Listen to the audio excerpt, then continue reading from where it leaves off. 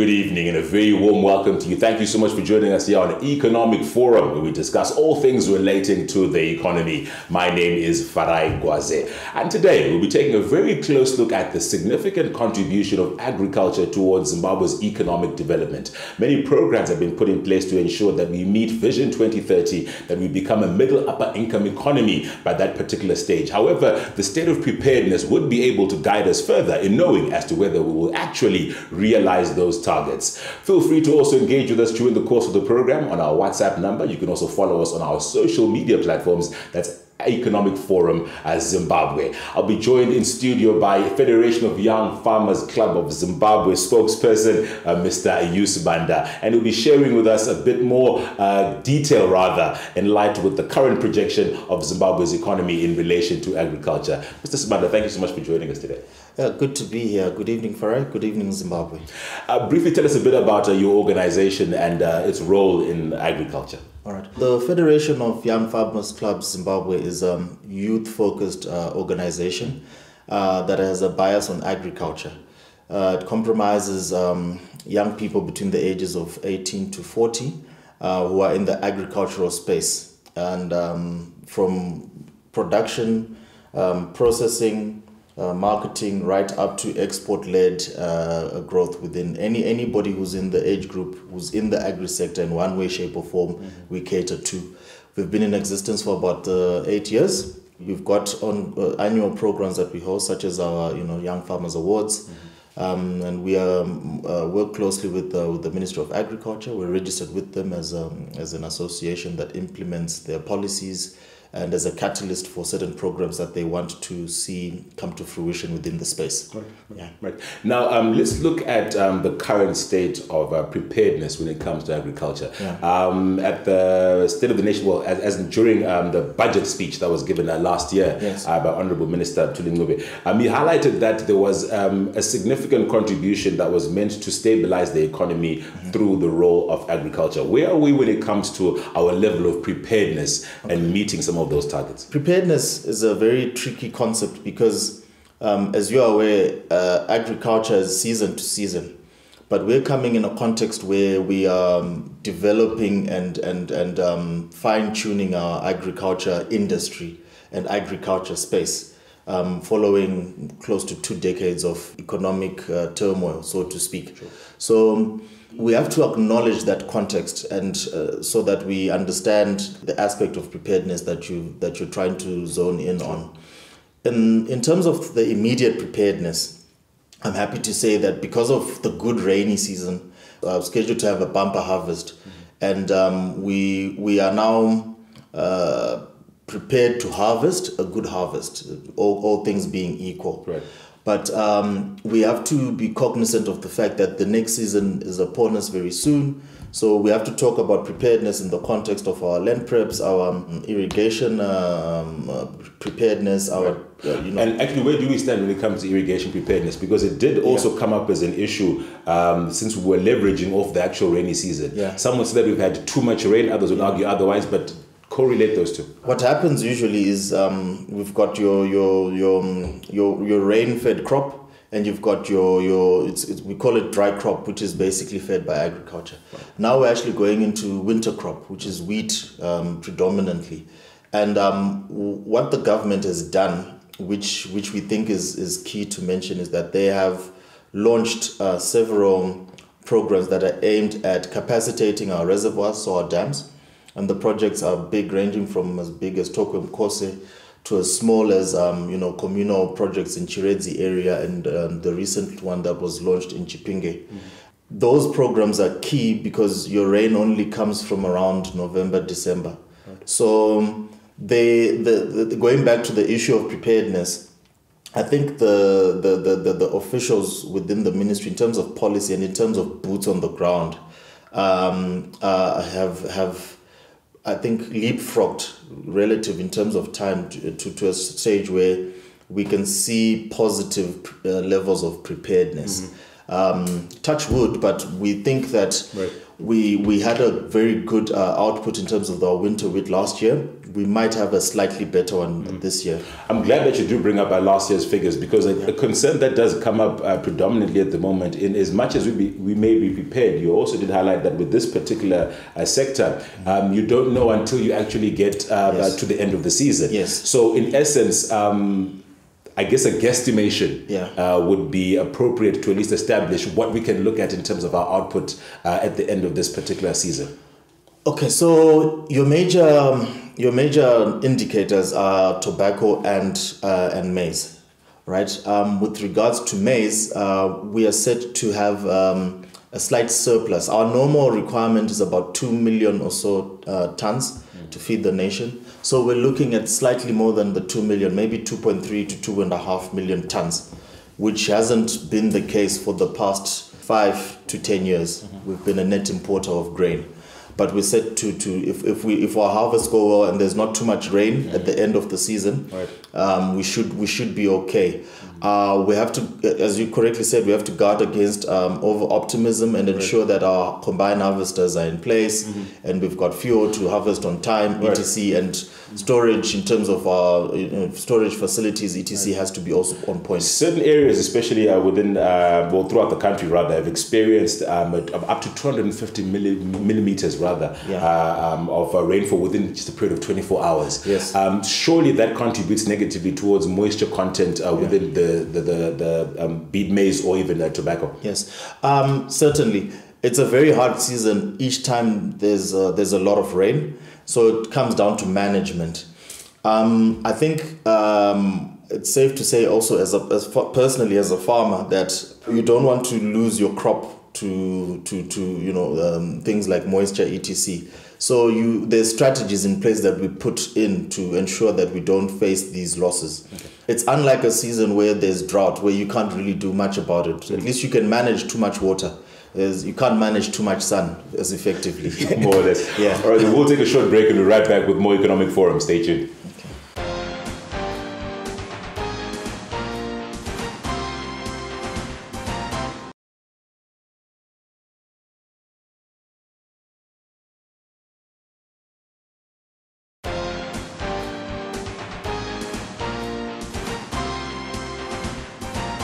Welcome back to Economic Forum. We're discussing all things relating uh, to the economy. My name is Farai Gwaze, and uh, today we're taking a very close look at uh, the state of preparedness within the agricultural sector. Joining me in studio is the Federation of Young Farmers Clubs of Zimbabwe spokesperson, uh, Mr. Hugh Sibanda, sharing rather than giving a few insights uh, in our current state of preparedness. Feel free to also engage with us on our social media platform and, uh, and our WhatsApp uh, platforms. Now, before we took uh, the break, um, you were highlighting how, um, uh, to some degree, we're meeting or we can meet uh, some of our output targets. The concern that then comes from there is do those output targets tally to the contribution that is meant to increase our gross domestic product?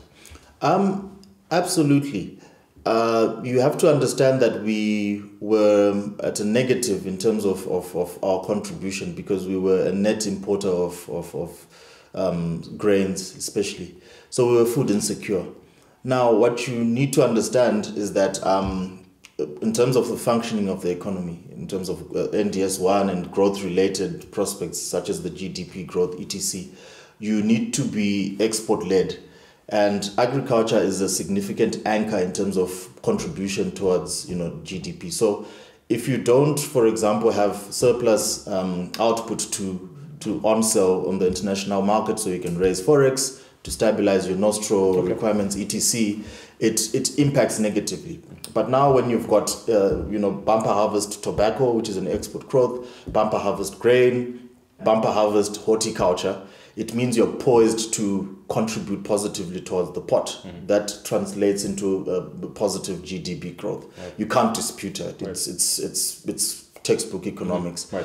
What what needs to then kick in is um, how we manage our higher level um, processes in terms of the agri sector. Right. Remember, I mentioned being the value chain. Yeah, the value chain. Sure. Remember, I mentioned that we're not just an association of farmers, but we're an association of agri professionals. There are people and organizations that specialize in marketing our products in the international space mm-hmm. To areas where they're needed. This is what then kicks in, and this when becomes key. Right. How then do we distinguish between uh, local consumption, well, the local demand rather for consumption, and also meeting some of our export um, targets? To contribute towards the economy? Sure. I mean, it's it's it's not rocket science. It's a game. It's it's numbers. Mm. If you have a family of four, you know how much you know you need to go and hustle so that there's food on the table. Right. The same way for the country, they have the statistics of how many households they are there. Mm-hmm. Typically, I think it's about um, 1.8 million rural households, and then uh, about uh, 500,000 uh, urban households that need to be fed. That's those are the ones that inform our output target of 2 million tons or so so that we're food secure. Right. Now from there you then extrapolate and say okay if we've got 2.5 million or 3 million tons this is the surplus that we have in terms of grains uh, and then you look historically on tobacco and say typically we you know we, we do we move 200 to 300 million tons per annum so in a good season, if we're above the, that that that sort of output, mm then we've got extra money. Right. Yeah. Maybe you could also assist with uh, some clarity in appreciating some of the uh, bottlenecks rather that come into our yeah. value chain system. Uh, recently, uh, there was an issue that came up around um, the issuance of uh, cooking oil yeah. and how there was um, a component of soybean extract that yeah. contributed towards uh, the production of cooking oil. Absolutely. So let's let's look at how some of those um, issues mm-hmm. contribute towards uh, will affect rather, yeah. uh, the value chain when it comes to agricultural produce? So the, the general issue is that we don't live in a vacuum. We live in a in a in a in a in, a, in an international uh, community where we've got different comparative advantages in terms of the goods and services that we produce. So, with regard to certain goods, uh, for example, soybean, uh, our yields here tend not to be as good as in other parts of the world and our production processes to produce things like the crude crude, crude oil for, for soya from soybean are not as advanced as certain nations are. Mm-hmm. So we have to depend on them to, to access those things. Mm-hmm. So if there's um, constraints um, with regards to their production processes, then that affects us because it means that we have to procure at a higher cost. Mm-hmm. Um, it's a signal to us that we have to increase our efficiencies and our advancements in terms of innovation in agriculture, uh, but also um, participation in free market yeah. trade and free market areas so that we can benefit from some of the, the policies of regional integration. Mm-hmm. COMESA and some of the recently um, um, um uh, constituted policies that cater for sub-Saharan African trade, for right. example. Mm-hmm. Those are key because they allow um, savings, which then uh, trickle down to, to, to the normal citizen. Right, right. Yeah. And where do we fare at the moment in comparison with our partners or neighbors rather within the yeah. SADC region? I'll give praise to, to, to the powers that be in that in a short, short space of time they've shown a lot of clarity and a lot of cohesiveness in mm-hmm. what they're wanting to do right. in terms of um, um, developing the, the agricultural sector. Mm-hmm. And there's a lot of energy that's coming from the young people. Right. And you know, agriculture is a funny, it's a funny thing. You know, within two, three seasons, you can change a narrative. And I think that's that's the story that that, that uh, Zimbabwe is, is is telling at the moment. Sure. Because we we not so long ago we were importing our maize, we were importing our wheat, we were importing quite a lot of goods. But now we're at the stage where we're talking about being food secure with, with surplus to, to mm-hmm. put onto the table, etc um, it's a it's an indication that we are stepping up to the plate. Right. We do have a lot of work to do in terms of our um, technology and innovation but um, we, we're, we're on the right track. Right. I do want to take a, another short break, but when we come back, we'll be looking at some of the programs that you're referring to that contributed towards us uh, stabilizing and uh, meeting some of our targets. We'll be right back with more Economic Forum. Stay tuned.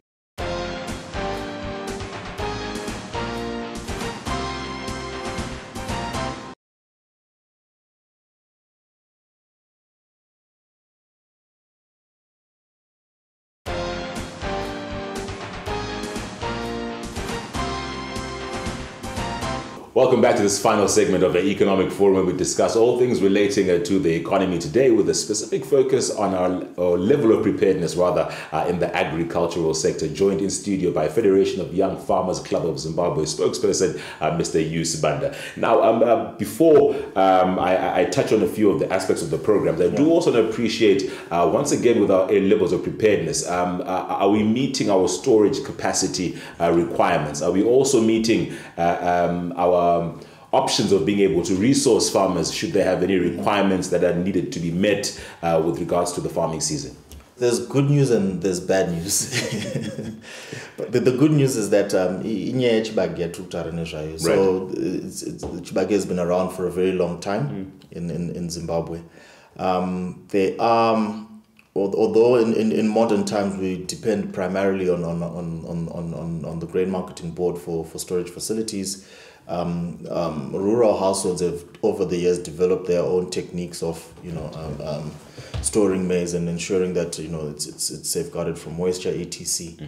I think what we need to do that's the good news, but the bad news is as I mentioned before we need a higher level of innovation and a higher level of technological prowess in terms of you know um, catching up with the times. Sure. Uh, because we, we, we are not wanting our rural farmers to remain at subsistence, subsistence level. We want a significant level of commercial, um, you know, rural farmers right. as well. So in order for that to happen, um, I think we need to um, complement or enhance mm-hmm.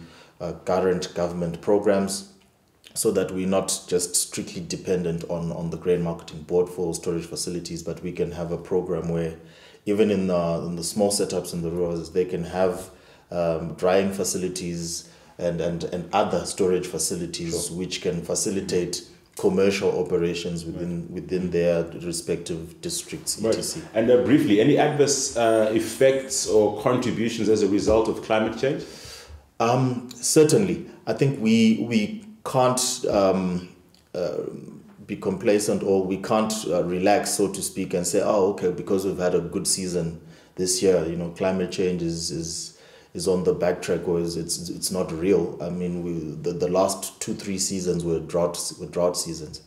So uh, what I'm happy about is that the government has gone to great lengths to, to enhance um, irrigation-based programs. Mm-hmm. I spoke earlier about uh, what they're doing in in uh, in, in Bulawayo, in Tokwe uh, Chiredzi.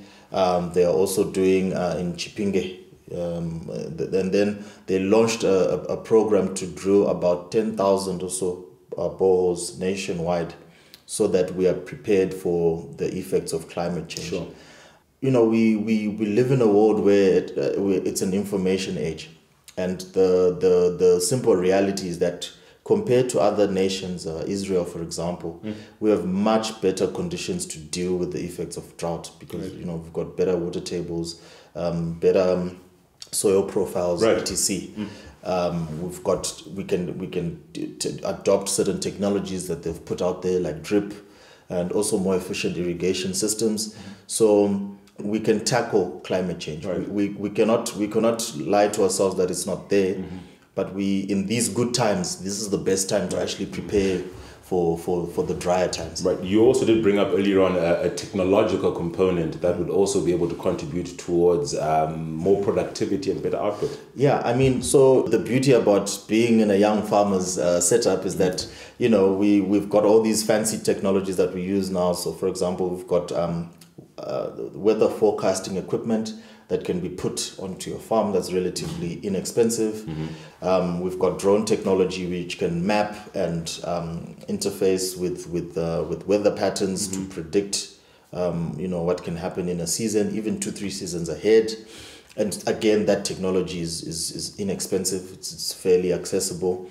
Um, so what what now needs to happen is that um, we now need to use platforms such as yours to uh, educate people right. and, and, and also use social media to, to get more up of these technologies mm-hmm. out there and, and make them accessible. Right. Now, you also did uh, commend earlier on uh, efforts by government uh, in um, addressing issues of preparedness. Yeah. Uh, um, share with me rather um, your insights around um, meeting some of the requirements for the national development strategy mm-hmm. But more importantly some of the economic uh, reforms that were brought in place okay. uh, to be able to ensure that zimbabwe does meet the uh, middle income economy status by 2030 with regards to contributions of agriculture for sure so the, the, the, the general gist about um, you know a, a boom in agriculture or or, contri- or positive contribution in agriculture has to do to do with growth, and for growth to be there, you need stability. So we've had the transitional stabilization program, which I think has worked well in terms of stabilizing mm-hmm. um, the, the the economy. So when you've got stability, that's an indicator that okay, I can invest fertilizer and seed because I'm going to make a profit and right. and and, by, uh, and I'm not going to make a loss by the time I sell to to you know to, to GMB or whichever off taker I'm looking at whether right. whether I'm in tobacco or I'm in grains that's number one um, what, what what happens and this is in the context of agriculture is that um, you you can now feed into uh, programs like the national development strategy because um, they've created uh, uh, an environment that's conducive for, for the growth to happen. Sure. Mm-hmm. Um, so we we have to give kudos to the government for so, so you would go so far as to say that the economic reforms and measures, um, I think one of the most painful ones that all Zimbabweans can acknowledge with the austerity ones, yes. uh, managed to be able to create a conducive environment for the agricultural sector to be able uh, to meet some of its output targets. Absolutely. I mean, you can't take that away from them. The, the, it's, it's, it's, it's the numbers. The numbers speak for themselves. Sure. The statistics speaks for themselves and the um, exchange rate patterns speak for themselves. Mm-hmm. Um, those are your main indicators when you're looking at. When it comes to also accessing uh, consumables, um, would farmers be in a better position right now when it comes to being able to, to meet some of the requirements? Yeah, well, look, yes and no. As, as, as, somebody, as somebody in the in the in the in the in the industry, I can tell you now that we've got a headache where fertilizers, for example, on the world market have gone up right. for one reason or the other, and this this would this you know that's that tends to affect um, a, a, season in terms of um, you know profitability.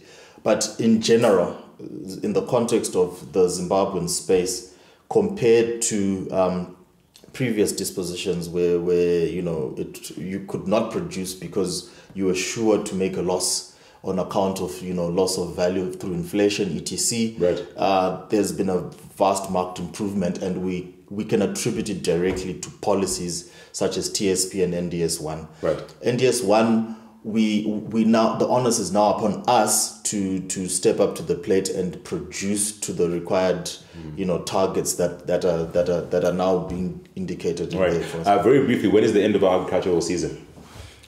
it never ends. it's ongoing. The moment right. you sell, you have to start again. Mm. Uh, but generally, we we're, we're, we're, we're, we're, we're, we're, we're just about at the end. We, right. we once we start harvesting in about a month or two, that's that's that's technically the end. Mm-hmm. But uh, agriculture is, is, a, is a journey, okay. it's not a destination. Right. Yeah. All right, that's all the time that we do have, and we'll definitely be bringing you in again uh, to follow up on uh, the output uh, from agricultural season. We've been joined uh, by Federation of Young Farmers Club of Zimbabwe spokesperson, Mr. Hugh Sibanda. Thank you so much for joining us, and we look forward to speaking to you again in future. Good. That's good to be here for as always. All right, then. That's all the time that we do have here today on Economic Forum. We always do appreciate your contributions. Feel free to get a hold of us on our WhatsApp numbers and also follow us on our social media platforms at Economic Forum Zimbabwe. My name is Farai Gwaze. Pleasant viewing and good night.